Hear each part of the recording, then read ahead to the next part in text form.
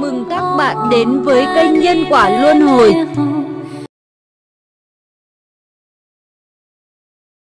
Chu Tú Hoa. Trích dịch từ tạp chí Kim Nhật Phật giáo Đài Loan. Nguyên tác Bạch Thoại. Nữ ký giả Lý Ngọc. Lời tác giả. Đây là một câu chuyện ngàn thật, muôn thật. Sở dĩ tôi muốn trình cho quý vị biết câu chuyện này Tuyệt không phải để quý vị thấy kỳ quái Mà muốn chứng minh rằng Trên thế giới này Quả thật có lục đạo luân hồi, Có hiện tượng báo ứng nhân quả. Hơn nữa, Việc này phát sinh trong thời đại hôm nay Tại Đài Loan. Ký sự này được ghi tại thôn Mạch Liêu. Nguyên nhân viết ký sự này. Vào khoảng tháng 2 năm nay, Dân quốc 50 Sư Tinh Vân nhận lời mời đến Hổ Vĩ đi giảng kinh. Lúc đó, đồng đi, Còn có sư Chữ Vân.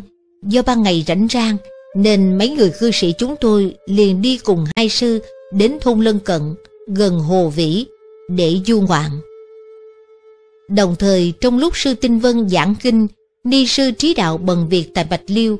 Do tôi chưa từng qua Mạch Liêu, Cho nên có ý muốn đến Mạch Liêu Vãn cảnh.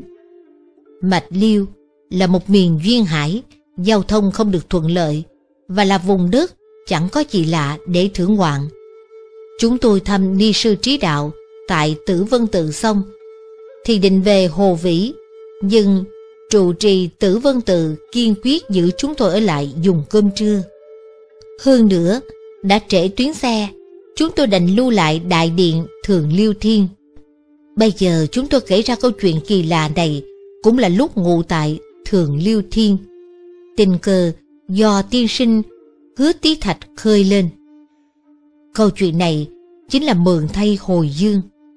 Chuyện này vốn đã xảy ra rất lâu, nhưng do chủ nhân câu chuyện một mực không muốn kể lại, cho nên người biết chuyện rất hạn chế chỉ có cư dân gần thôn Mạch Liêu.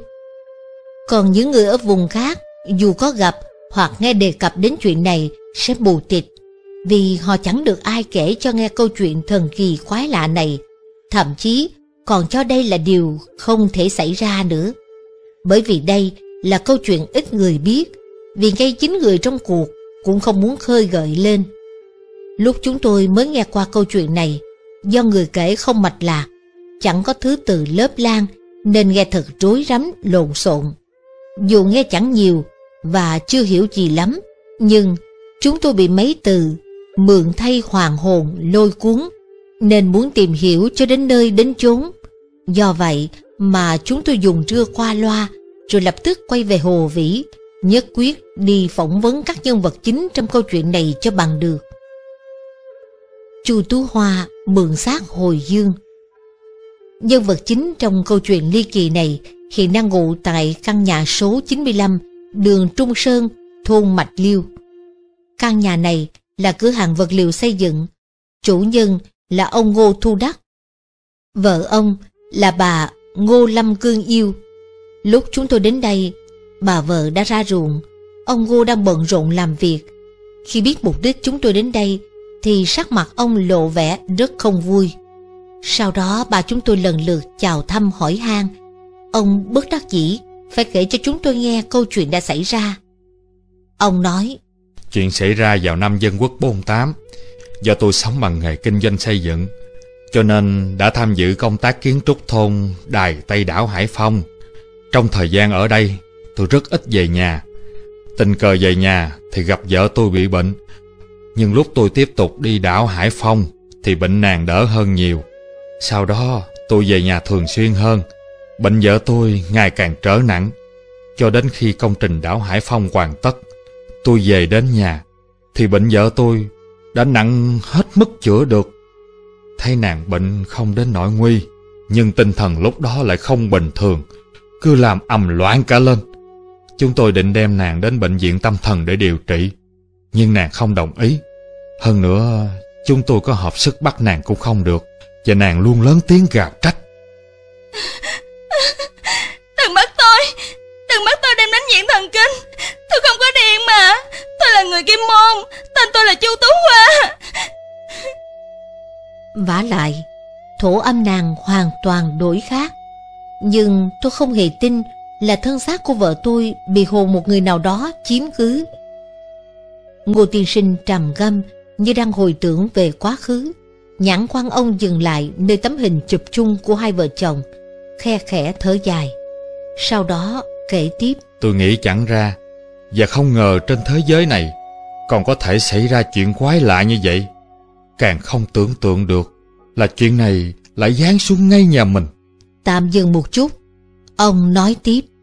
Trong thời gian tôi xây dựng công trình hàng ngày từ đảo Hải Phong đạp xe về nhà, luôn cảm thấy trên vai có chút nặng nề. Nhưng tôi nghĩ có lẽ là do con đường quá dốc, cho nên cũng chẳng để tâm. Sau này tôi mới biết, mỗi lúc tôi về nhà, thì cái cô nương quê ở Kim Môn đó luôn ngồi phía sau xe, đeo theo tôi về đến nhà. Nói đến đây, tiên sinh không muốn nói thêm gì nữa. Ông lấy cớ đi pha trà và kết thúc câu chuyện. Trong lúc này, người cháu trai, con chị gái của ông, tuổi khoảng 20, phụ tiếp chúng tôi, đang cùng nhau trò chuyện, thì hứa tiên sinh, người dẫn đường cho chúng tôi đến, bảo là sẽ đi tìm vợ Ngô Tiên Sinh giúp chúng tôi.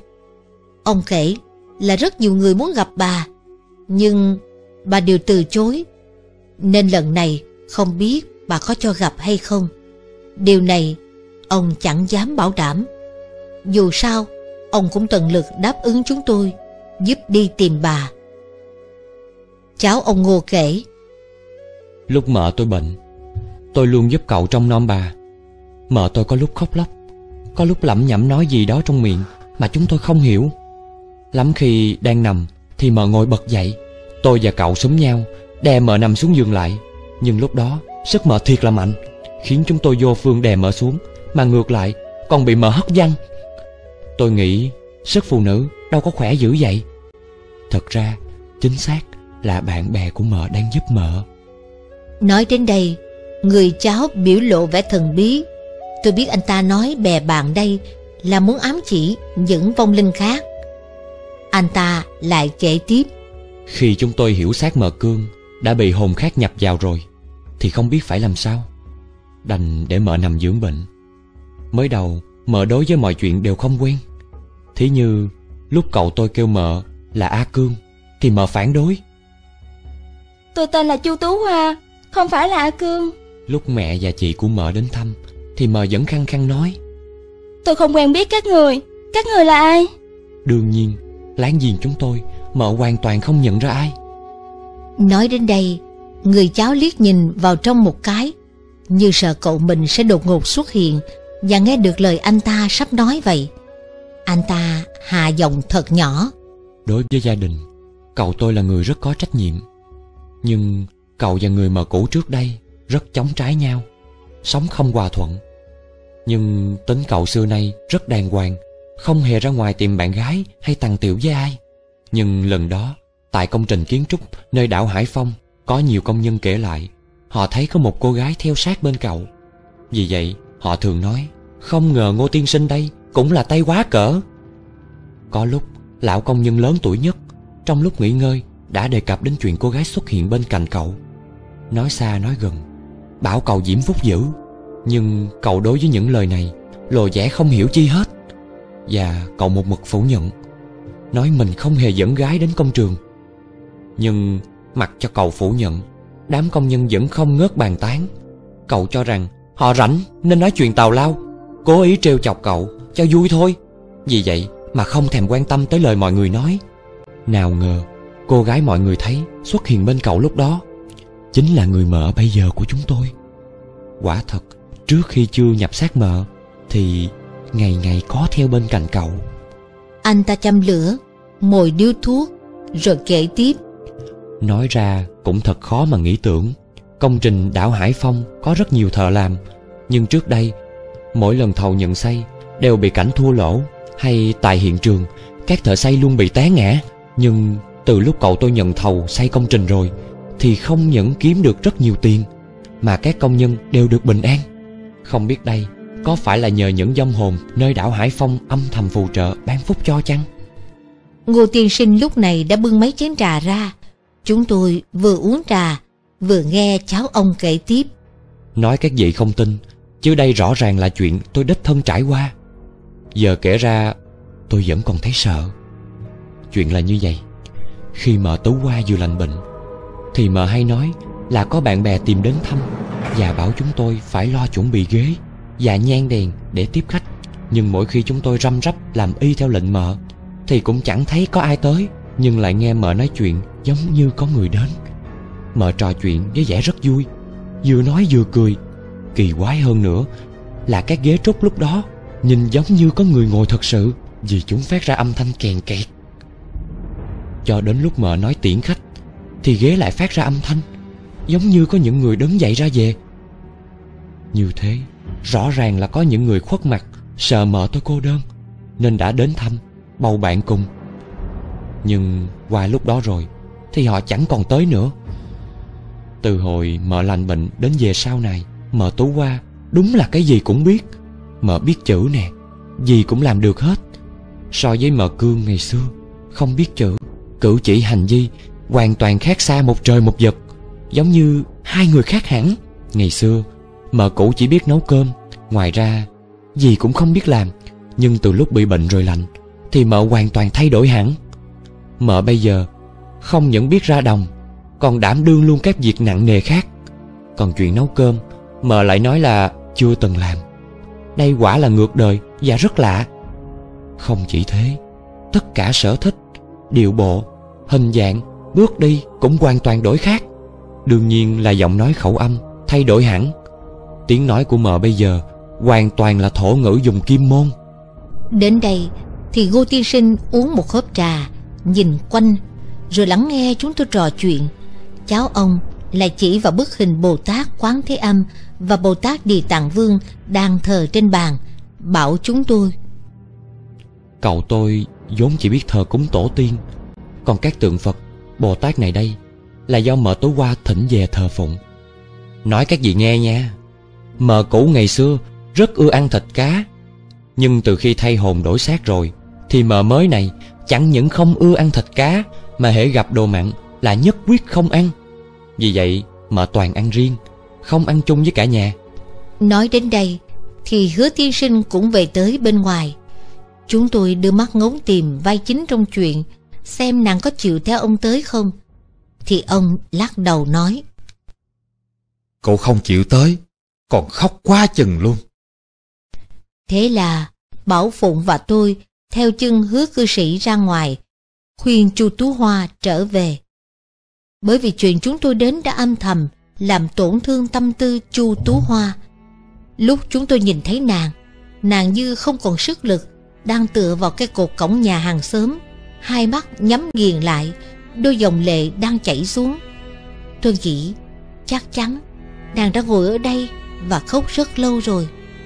Chúng tôi phải an ủi nàng thật lâu mới dìu được nàng về nhà. Lần này do chúng tôi đến đã khiến cho nàng nhớ về gia đình mình ở Kim Môn. Vì vậy mà tâm tư không ngớt sầu muộn. Mặc dù nàng trò chuyện với chúng tôi, nhưng vừa nói được một hai từ thì nàng lại bật khóc và không thể nói thành tiếng. Hôm đó, nàng cố gắng kể cho chúng tôi nghe bằng giọng đứt quãng. Nàng tên Chu Tú Hoa, nhà ở tại Kim Môn, cha tên là Chu Thanh Hải, mẹ tên là Thái Diệp. Lúc đó, nàng 18 tuổi. Vì Kim Môn phát sinh chiến loạn, nên nàng phải theo mọi người lên thuyền đánh cá chạy nạn. Sau đó, thuyền lên đên trên biển rất lâu, mọi người đều không còn lương thực nên bị chết đói, chết khát. Cuối cùng, nàng cũng ngất đi. Chẳng biết bao lâu thì tỉnh dậy, thấy thuyền đã trôi đến hải đảo tỉnh Đài Tây này.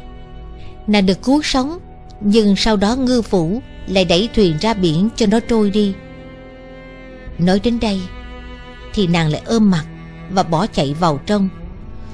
Chúng tôi đang rất muốn biết nhiều hơn, nhưng thấy nàng quá sầu thảm như vậy, chúng tôi chẳng nỡ truy vấn gì thêm. Mà thời gian cũng không còn sớm nữa, chúng tôi phải về Hồ Vĩ cho kịp chuyến xe. Vì thế tất cả cùng đứng lên từ bị chủ nhà. Lúc ra về, chúng tôi còn hứa lần sau nếu có dịp đến Mạch Liêu sẽ tặng cho Chu Tú Hoa một sâu chuỗi niệm Phật. Đoạt tiền hại mệnh, bị báo ứng ngay. Hứa tiên sinh đi cùng với chúng tôi. Trên đường ra bến xe, ông kể thêm cho chúng tôi nghe. Chu Tu Hoa lúc chạy loạn vốn là có thể sống sót. Giây phút cô được ngư phủ cứu, cô từng nói Cầu xin ngài hãy cứu mạng tôi. Bất kể làm gì, làm dâu hoặc làm kẻ giúp việc, tôi đều có thể. Và tiền bạc trên thuyền tôi đều xin tặng hết cho ngài. Nhưng mà cái tên ngư phủ đó quá ác và cực kỳ vô lương tâm. Hắn đã đoạt vàng, còn ném người xuống biển. Xong, rốt cuộc hắn cũng không thể bình an tọa hưởng số vàng phi nghĩa cướp được kia. Bởi vì không bao lâu thì cả gia đình hắn từng người, từng người lần lượt chết đi. Bây giờ chỉ còn sót lại một thằng con, còn nhỏ mà bị bệnh phong điên rất ghê. Phật giáo nói nhân quả báo ứng quả là không sai chút nào mà. Kể đến đây, ông đưa mắt nhìn khắp chúng tôi, rồi tiếp. Nói ra cũng lạ lắm. Khi chu Tú Hoa lành bệnh rồi, có người đem tin đồn này đến Đài Tây. Người ở Đài Tây biết chuyện rồi. Tất cả đều rất kinh ngạc và cho là quá lạ. Có người biết rõ chuyện này à, mấy năm trước, nhà thằng Phong điên kia cướp của rồi giết hại cô gái này. Nên khi đó đã dẫn đứa nhỏ điên là con của kẻ cướp đến gặp Tú Hoa. Không ngờ họ vừa đến cổng, chu Tú Hoa ngăn lại không cho vô, còn khóc nói Người cha các người hại ta chưa đủ hay sao Mà còn đến đây làm ta khổ đau thêm nữa Trước đây bà A Cương chưa từng đến Đài Tây mà lúc thằng nhỏ điên tới, Cũng không có ai biết tường tận chuyện này. Nhưng mà chu Tú Hoa Vừa nhìn thì nhận biết ra hết tất cả. Đây quả rất là lạ. Vì tặng chuỗi thăm tại Bạch Liêu. Khoảng tháng 7 năm nay, Cư sĩ Hùng Cự Minh đến Hồ Vĩ Để dạy cho các liên hữu cách sướng Phật tán. Trong lúc trò chuyện, Sư Chữ Vân lại nhắc đến chuyện mượn thay hoàng hồn này. Năng cư sĩ nghe qua cảm thấy rất hứng thú. Do tôi từng hứa sẽ tặng chuỗi cho chu Tú Hoa, Nên sẵn dịp này, Dẫn năng cư sĩ đi mạch liêu luôn. Năng cư sĩ đã từng ngụ tại Kim Môn một thời gian, Cho nên đối với những chuyện ở Kim Môn, Ông rất rành. Trên đường, Ông kể với tôi nghe nhiều chuyện về Kim Môn, Như kiểu kiến trúc, Các ngành nghề Phong tục tập quán, Dân tình, vân vân. Đây đều là những tư liệu giúp tôi tỏ tường hơn Khi gặp Chu Tú Hoa. Hôm ấy thời tiết rất xấu, Xe đi trên đường gặp mưa lất phất. Tôi rất lo mưa sẽ to hơn. Nào ngờ, lúc xe đến Mạch Liêu Thì mưa đã tạnh. Tôi không ngăn được mừng vui Trong lòng điềm thầm. Nam Mô A Di Đà Phật. Những chuyện ở Kim Môn đều nhớ hết. Do trời mưa, Nên chu Tú Hoa không ra đồng. Khi tôi biết cô có ở nhà, Trong lòng mừng như trút được gánh nặng. Có lẽ vì tôi dẫn theo mấy người, Nên chu Tú Hoa do dự rất lâu Mới chịu ra diện kiến Nhưng lần này cô có vẻ bình tâm nhiều hơn. Thấy chúng tôi, Cô mỉm cười gật đầu chào. Nhưng nụ cười đầy vẻ miễn cưỡng.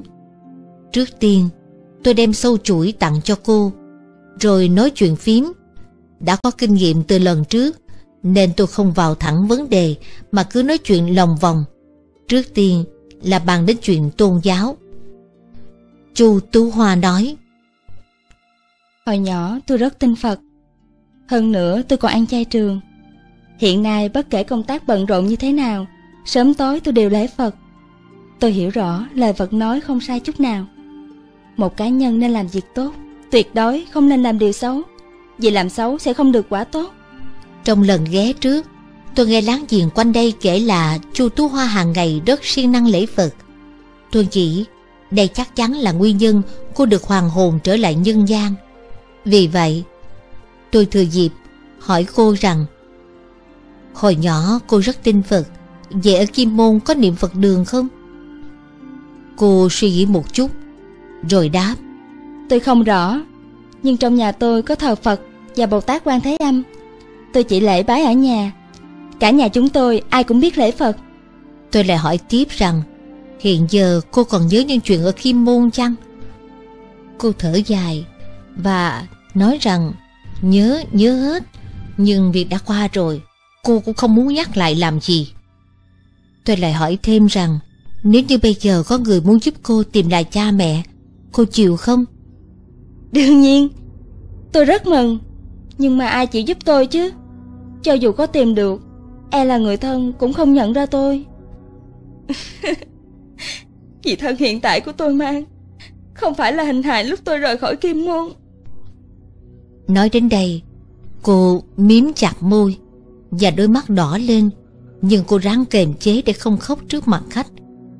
Tôi chỉ vào năng cư sĩ đang ngồi phía dưới và nói rằng, Tiên sinh này từng ở Kim Môn rất lâu, Hơn nữa ông cũng là người tin Phật Và biết rõ về Kim Môn. Bây giờ ông có rất nhiều bạn bè Ở Kim Môn này, Nếu như cô đồng ý, Ông sẽ hỏi thăm giúp cô. Đúng lúc đó, Mắt cô đỏ lên, Cô cúi đầu xuống một hồi lâu. Để phá vỡ bầu không khí buồn bã, Tôi vừa cười vừa nói rằng, Nếu như đã tìm được cha mẹ, Cô có chịu đến đó gặp và nhận cha mẹ mình hay không? Cô nói. Đương nhiên là nhận ra. Nếu như được đến đó Tôi muốn cùng đi với chị một lần. Chị có chịu đi không? Nói đến đây Tưởng chừng như mình đã về đến Kim Môn. Đôi mắt cô sáng bừng lên. Cô nhìn tôi chăm chú Chờ đợi câu trả lời. Tôi đáp lời cô rằng Đương nhiên rồi Tôi luôn mong được tới Kim Môn. Và nếu được đi cùng với cô thì tốt quá. Về sau Ông Ngô có nhờ bạn đến Kim Môn dò tìm tin tức song thân Chu Tú Hoa theo địa chỉ cô nói. Người bạn về cho biết là quả thực có gia đình tên là Chu Thanh Hải, nhưng sau khi quân giặc pháo kích thì toàn gia đã mất tâm tích. Do đó, Chu Tú Hoa không cách gì về Kim Môn nhìn giận người thân nữa. Thế rồi, tôi yêu cầu cô kể cho nghe sự tình lúc cô rời Kim Môn. Cô kể Chuyện xảy ra vào năm dân quốc bao nhiêu tôi không nhớ rõ. Năm đó tôi 18 tuổi. Vào lúc đó, người tung tin nhảm là quân đội sẽ triệt thoái khỏi Kim Môn. Cho nên nhiều bá tính trong làng đều xuống thuyền đi lánh nạn. Tôi cũng lên thuyền theo. Tôi lại hỏi cô rằng cha mẹ cô không đi cùng ư? Cô lắc đầu nói Không. Lúc đó cả nhà tôi đều hoảng loạn. Nhà chúng tôi buôn bán nên không có thuyền. Tôi đi ké theo thuyền đánh cá của người ta. Lúc đó tôi chia tay người thân Tôi hoàn toàn không lường trước được. Đó là lần chia tay vĩnh viễn. Không bao giờ còn có thể gặp lại gia đình được nữa. Cô nói với vẻ buồn rầu Nhưng vẫn ráng kể tiếp tục. Hôm chúng tôi đào nạn Bọn giặc pháo kích dữ lắm. Tôi bị gió bão làm bị thương Nhưng vẫn ráng leo lên thuyền. Thuyền ra tới ngoài biển lớn Thì chúng tôi chẳng biết đi hướng nào nữa. Vì mọi người thường ngày chuyên bắt cá ngoài biển cho nên khi ra biển lớn Thì họ mù tịch và mất phương hướng. Sau đó chúng tôi phó mặt thuyền trôi theo dòng nước đưa đẩy. Cứ thế mà lên đền mãi giữa biển nước mênh mông. Rất nhiều người bị chết đói, chết khát Tôi cũng cực kỳ thống khổ. Không biết là phải trải qua bao nhiêu ngày Thủy thuyền mới trôi dạt đến hải đảo này. Những người còn khí lực Đều bỏ thuyền bơi đến bờ. Phần tôi thì hôn mê. Sau đó một ngư thuyền tới. Có người phát hiện ra tôi Bèn cập gần thuyền. Bọn họ lay tỉnh tôi. Tôi mới biết đây là dùng Đài Tây của Đài Loan. Bọn họ hỏi nguyên nhân tôi lên đên trên biển. Tôi thành thật kể cho họ nghe. Sau đó, Nói đến đây, Mắt cô xuất hiện hai giọt lệ tròn như hạt châu Và cô vội chùi đi. Tôi lại ngắt lời, Nói tiếp dùm cô rằng, Sau đó, Họ đoạt tiền cô Rồi ném cô xuống biển, Cho nên toàn gia họ sau này đều chết sạch chỉ còn lại một thằng nhỏ bị bình phong điên Không đợi tôi nói hết, Cô vội cướp lời. Trời Cô cũng nghe được điều này sao? Thật sự là số vàng trên thuyền ấy Không hoàn toàn là của tôi, Mà là của nhiều người đào nạn mang theo. Còn chuyện bọn chúng cướp vàng, Sau đó cả nhà bị giết hết, Hoàn toàn là sự thật. Nhưng tôi là người tin Phật. Dù biết họ tàn nhẫn không lương tâm, Nhưng tôi chẳng thèm kết thù với họ làm gì. Chuyện này là do những người đồng đi với tôi Căm phẫn, bất bình Nên báo án thôi Tôi lại hỏi cô rằng trước khi đến nhà Ngô Tiên Sinh, cô ngủ ở đâu? Nhắc đến vấn đề này, cô có chút không vui, nhưng cuối cùng vẫn đáp. Tôi ở thôn Đài Tây, đảo Hải Phong, trong đó có nhiều cây xanh và biển rất đẹp. Tôi ngủ tại đó nhiều năm. Và tôi muốn hỏi cô rằng cô có thích chỗ đó không? Thích lắm, tôi ở đó khá lâu. Khi bị ném xuống biển, thì hồn tôi cứ quanh quẩn ở nơi đảo Hải Phong. Tôi trụ tại đây chừng 10 ngày Thì được Dương Công thâu làm môn hạ. Dương Công cho biết Thọ mạng của tôi chưa hết. Có thể mượn thay của vợ Ngô Thu Đắc để hồi dương. Ông dạy tôi Hãy tạm trú ở Miếu Dương Bắc. Không bao lâu Ngô Thu Đắc đến đảo Hải Phong làm việc. Tôi liền theo Ngô Thu Đắc. Khi Ngô Thu Đắc làm xong việc quay về nhà thì khi đó tôi cũng theo về để chờ cơ hội. Vài ngày sau Bà Lâm bệnh tình trở nặng. Hồn về cõi khác Tôi nhân cơ hội này mượn thay hoàng hôn. Ngừng một lát Cô tiếp. Nhưng chuyện mượn thay người không phải dễ dàng. Để vào được thân xác người là một việc rất khổ não. Mai mà có dương công giúp đỡ Phải hơn 20 ngày việc mới hoàn thành Tôi thật muốn biết cảm giác của cô lúc ấy ra sao Cô nói tiếp Rất tự nhiên Nhưng không quen lắm Cô muốn ám chỉ Lúc trước mình là một thiếu nữ, giờ phải mang thân một bà lớn tuổi đã có chồng. Tôi đổi sang đề tài khác, hỏi cô rằng mạch liêu có tốt như kim môn không? Mạch liêu hả? Nơi này sao có thể so bì được với kim môn chứ? Phòng ốc ở kim môn hoàn toàn là nhà xây. Đường đi á thì bằng phẳng và chỉnh tề. Nơi chúng tôi cư ngụ là khu vực buôn bán người ở rất là sầm uất và náo nhiệt. Còn cả nhà cửa mạch liêu xây á, thì không có trật tự, rất bát nháo và lộn xộn. Năng cư sĩ đồng ý lời cô nói. Theo năng cư sĩ phỏng đoán, Chu Tú Hoa đào nạn vào năm Dân Quốc 43 bởi vì trong năm đó nhiều người thấy quân đội vận chuyển súng thuốc đạn dược đến ven biển. Họ tưởng quân đội rút lui nên hồ đồ tung tin nhầm lẫn. Nghe năng cư sĩ tả, cô nói Đúng, tôi chính là người chạy giặc trong thời buổi đó. Tiếp theo, tôi hỏi về dân tình phong tục ở Kim Môn, thì cô nói giống y như năng cư sĩ đã kể. Lần thứ nhất, tôi đến Mạch Liêu, cũng từng nghe kể là tình cảm giữa ông Ngô và bà Cương không tốt lắm. Nhưng từ lúc Chu Tú Hoa mượn giác nhập hồn, thì tình cảm giữa họ rất hòa thuận, tốt đẹp. Và cô đối với Thắng Nhan là con trai của A Cương cũng chăm sóc tốt như mẹ ruột của cháu. Không những thế, Ngô Gia từ lúc Chu Tú Hoa đến thì kiếm được rất nhiều tiền. Cô quen buôn bán nên hướng dẫn chỉ đạo đúng y. Cô bảo thứ gì nên, thứ gì không nên buôn bán đều thành công cả. Hơn nữa, cô còn ra đồng canh tác. Thậm chí, việc canh mực nước ruộng buổi tối đều do cô đích thân làm. Có lúc phải sắp xếp trong tiệm hoặc phải vận chuyển hàng hóa nặng nề, đòi hỏi rất nhiều sức lực. Cô đều gánh vác cả. Chỉ duy có một điều, cô không muốn xuống bếp nấu cơm.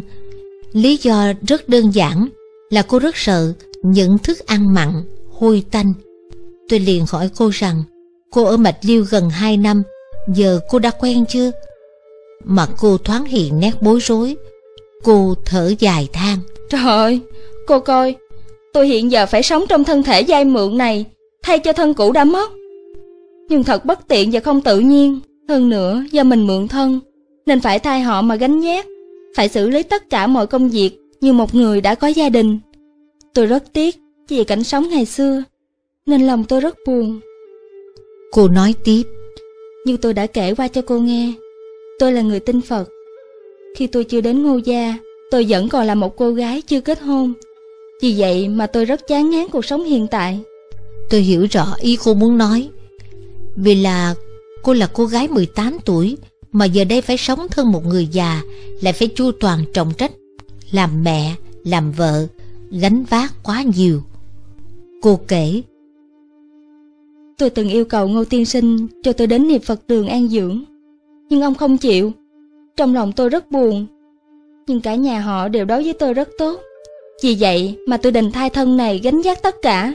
Nhưng nếu như sau này ông Ngô chịu đáp ứng, cho phép tôi đến niệm Phật đường, thì tôi rất muốn đến đó. Vì nơi đó thanh tịnh, hợp với tôi hơn. Tôi nói với cô rằng, nghe kể cô đối với con trai và mẹ chồng rất tuyệt. Mọi người đều khen ngợi cô, phải không? Về điểm này hả? Mọi người đối xử với tôi rất tốt. Thắng Nhan á thì ngoan lắm, mặc dù nó không do tôi sinh ra, nhưng nó rất hiểu chuyện. Mọi người đối với tôi quá tốt, thì tôi sao có thể xấu với mọi người chứ? Có lúc ông Ngô thường la con trai, tôi luôn khuyên ông, con hãy còn nhỏ, có chuyện gì cũng không nên quát la to tiếng, phải nhẹ nhàng giải thích cho con hiểu. Tôi nghĩ nhất định Thắng Nhan sẽ tiếp thu tốt hơn. Đương nhiên là tôi cũng khuyên Thắng Nhan nghe lời cha. Tôi đã ở trong nhà họ, thì tôi luôn mong gia đình có thể sống với nhau hài hòa, an lạc. Nói đến chuyện con cái, má cô chợt ửng hồng lên. Đương nhiên rồi, vì theo tuổi hiện thời của cô mà tính, thì cô hãy còn quá nhỏ. Đột nhiên cảm thấy trong phút chốc bị một thanh niên lớn tuổi kêu mình là mẹ, thì ác hẳn phải cảm thấy rất không quen. Trân trọng chụp hình lưu niệm. Chẳng mấy chốc mà chúng tôi nói chuyện đã mấy tiếng đồng hồ, đã đến lúc phải cáo biệt. Tôi đứng dậy và nắm tay cô an ủi rằng mọi người đã đối với cô rất tốt thì cô cũng nên buông xả, quên hết đi. Phật giáo nói tất cả đều do nhân duyên tụ hội hợp thành. Có lẽ cô và Ngô Gia có duyên nên mới từ chốn khi môn xa xôi mà trôi dạt đến nơi này, sống chung cùng với họ. Cô gật đầu. Tôi lại nói tiếp rằng, dù sao, cô hàng ngày đều rất thành tâm niệm Phật, thì bất kể sống ở đâu, mình cũng hành trì như thế thôi, không nhất định phải đến niệm Phật đường. Phật, Bồ Tát cũng chúc phúc, gia hộ cho cô.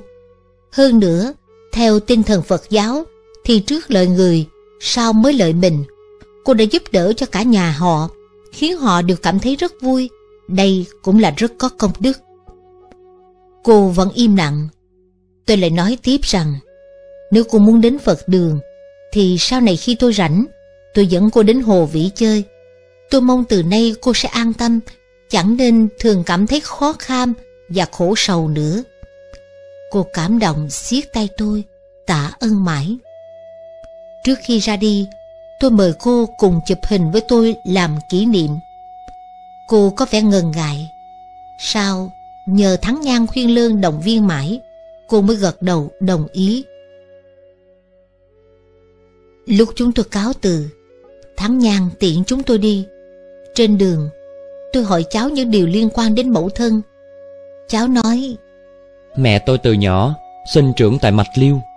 Xưa nay chưa từng đến Đài Tây hay Kinh Môn. Sau khi bà lành bệnh, đã hoàn toàn thay đổi thành một người khác. Tôi thật tình không tin những chuyện như thế. Nhưng thân xác vẫn là mẹ tôi, mà mẹ cứ cương quyết không chịu nhận mình là A Cương. Bà con thân quyến tới thăm, ngay cả bà ngoại và các dì, mẹ cũng không nhìn ra ai. Việc này khiến cả nhà đều cảm thấy rất kinh ngạc. Trong tâm tôi cảm thấy có phần bức xúc. Tôi thật không biết phải kêu bà như thế nào. Nói đến đây cháu dừng lại. Tôi hỏi cháu, vậy hiện tại thì sao? Cháu cười buồn rồi đáp. Đương nhiên, tôi vẫn kêu bà bằng mẹ. Vì là thân xác của mẹ tôi mà. Tôi hỏi cháu, cháu tin chuyện mượn thay hoàng hồn ư? Ngày xưa, tôi hoàn toàn không tin. Mẹ tôi xưa nay chưa từng đến đảo Hải Phong. Nhưng mẹ hiện tại hay tả về đảo Hải Phong. Hơn nữa, vào năm Dân Quốc 48, tôi từng tham gia hội trại ở Phi Luật Tân. Trong đội có một người bạn quê ở Kim Môn, thổ âm rất khác. Khi tôi về nhà thì mẹ đang bệnh. Sau khi lành rồi thì tiếng nói thay đổi hẳn. Khẩu âm giống hệt người bạn ở xứ Kim Môn kia. Hơn nữa, bà còn có thể kể rất nhiều chuyện về Kim Môn. Cho nên, tôi tin mẹ sau này thật sự là người Kim Môn. Tôi kể cho quý độc giả nghe câu chuyện này hoàn toàn không có ý khiến cho các vị sinh tâm hiếu kỳ rồi đi tìm gặp Chu Tú Hoa. Tôi chỉ muốn dùng câu chuyện này để chứng minh rằng Phật giáo nói lục đạo luân hồi, nhân quả báo ứng là chính xác và lý lẽ này luôn tồn tại. Cuối cùng, tại đây, tôi mong tất cả chúng ta đều sẽ chúc phúc cho Chu Tú Hoa. Bình Chúng ta hàng ngày học giáo lý Phật, luôn được Ngài nhắc nhở. Xác thân này không thật, mong manh, dễ rã bất cứ lúc nào. Nhưng ta khó mà thâm nhập, vì khi mở mắt chào đời, ta đã mang thân này rồi. Còn Chu Tú Hoa, ngay giây phút mượn xác hồi dương sống trở lại, cô sẽ rất dễ thấy xác thân đang mang đó không phải là của cô. Trên đường đào nạn, chuyện bị đoạt của, vứt xác xuống biển có thể xem như là một tốt nghiệp quan kiên hoặc là một nhân mới mà tên cướp bắt đầu gieo. Nhưng Chu Tú Hoa tâm sự rằng cô hiểu giáo lý Phật, cô tin nhân quả, nên không có lòng thù kẻ hại mình. Và khi cả nhà tên cướp chết hết, chính là kết quả do sự bất bình của vong hồn những người đi cùng thuyền với cô. Chu Tú Hoa là cô gái có tâm tha thứ và rất có tinh thần trách nhiệm. Cô chỉ là một vong linh 18 tuổi. Khi mượn xác một bà lớn hơn, có con trai tuổi tương đương với mình, lúc sống lại, cô phải gánh rất nhiều việc. Sáng sớm ra đồng, tối còn canh nước ruộng, nhà chồng kinh doanh kiến trúc và bán buôn vật liệu xây dựng. Tôi dịch đến chỗ, những công tác vận chuyển hàng, đòi hỏi nhiều sức, cô đều làm, gánh vác hết. Tự dưng, tôi thấy xót xa và tội nghiệp cho cô. Ở hoàn cảnh trước, người vợ cũ chỉ có làm mỗi một việc là nấu cơm. Còn cô, sau khi hồi dương thì ôm quá nhiều việc, phải gánh quá nhiều, dù không ai bắt buộc. Đây gọi là tinh thần trách nhiệm cao. cuộc sống rất biết điều, do hàm ân mà báo ân, vì mượn thân xác người nên phải thay thân xác mà làm việc đền ân. Chắc chắn là Chu Tú Hoa có sự giác tỉnh mạnh hơn chúng ta, bởi vì cô đã trải qua kinh nghiệm sống và chết, kinh nghiệm hoàng hồn và sống trong cái thân mượn đúng nghĩa. Tôi đã đối chiếu cô đào nạn năm Dân Quốc 43, tức năm 1954, và chết vào năm đó. Nhưng mãi đến năm Dân Quốc 48 là năm 1959, cô mới mượn xác hồi dương. Có nghĩa là cô trải qua kinh nghiệm sống cõi âm suốt 5 năm. Cô tả trong 5 năm này, mình ở đào Hải Phòng, cảnh đẹp, cây cối xinh, cô cũng rất thích ở đó. Tôi tin là cô không rơi vào cõi quỷ. Vì tâm cô không hề chất chứa giận hờn, thù hận. Tâm cô rất hiền thiện và cảnh luôn tương ưng với tâm. Nên dù ở cõi âm, cô tả xem có vẻ ung dung rằng mình thích cảnh đẹp. Cho đến khi cô được thần báo là bà A Dương bệnh sắp hết tuổi thọ, cô có thể mượn xác hồi dương, thì cô mới kiếm ông Ngô và đeo theo, quanh quẩn bên ông, chờ ông về nhà để về theo nhập xác. Chu Tú Hoa phải vào một thân xác già gấp đôi gấp rưỡi tuổi mình, chưa từng kết hôn mà phải làm vợ, làm mẹ. Khi sống lại, không còn được gặp gia đình cha mẹ cũ mà lòng cô hằng nhớ nhung. Đúng là sanh ly đau hơn tử biệt và phải gánh một gia đình mới có hoàn cảnh tệ hơn. Song cô vẫn phải chu toàn trách nhiệm, bổn phận. Chu Tú Hoa sau khi hoàng hồn từng bảo người nhà thắp nhang sắp ghế cho cô nói chuyện với bạn bè. Bạn bè này có thể là những vong cõi âm, những người cùng chết chùm với cô nơi biển và cũng có cả chư thần. Nhưng hay ở chỗ là họ chỉ đến an ủi sau khi cô mượn xác một lần, rồi từ đó không bao giờ đến nữa. Có nghĩa là hai cõi rạch rồi. Hãy để mỗi người tự sống yên nơi cõi của họ. Đây cũng là sự hộ vệ giúp nhau hay và tốt nhất. 18 tuổi Nhưng kinh nghiệm Chu Tú Hoa già hơn chúng ta nhiều vì cô đã làm người, làm ma, từng trải qua kinh nghiệm ở cõi âm trải qua kinh nghiệm mượn xác. Tất cả điều này đã thắp cao ngọn lửa giác ngộ trong cô, nên khi sống lại là cô lo thỉnh tượng Phật, Bồ Tát về thờ, sớm tối siêng năng lễ bái không ngừng, kiên tâm ăn chay, khao khát được lên chùa, niệm Phật đường ở. Tất cả những điều này tôi cảm thông được, và hẳn nhiên độc giả cũng có nhiều mối đồng cảm với cô theo quan niệm riêng của mỗi người. Tôi dịch bài văn này không có ý để cho người đọc lấy vui, mà là để chúng ta cùng chia sẻ thêm những điều hay về thuyết luân hồi, về các cõi giới và hiểu rằng lời Phật dạy không hư dối. Nữ ký giả Lý Ngọc từng hy vọng chúng ta chúc phúc cho Chu Tú Hoa sau khi đọc xong câu chuyện này. Tôi đoán là bây giờ Chu Tú Hoa chắc đã già, cũng ở tuổi cổ Lai Hy và không biết cô còn sống hay đã mất. Riêng tôi, trước khi kết thúc cuốn sách này, tôi muốn cầu phúc không riêng gì Chu Tú Hoa mà cho tất cả độc giả. Chúc quý vị hằng an lạc và luôn biết cách sống sao cho bản thân mình dù ở cõi âm hay dương đều mãi mãi hạnh phúc. Dịch xong ngày 29 tháng 3 năm 2013 Hạnh đoan